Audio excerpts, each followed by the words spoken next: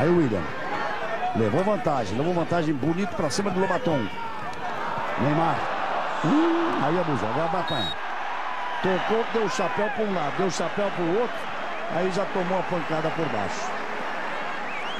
Aí exatamente aquilo a que o Gareca se, se, se referia, e que no futebol da Europa, olha, ele deu o chapéu para um lado, deu o chapéu para o outro.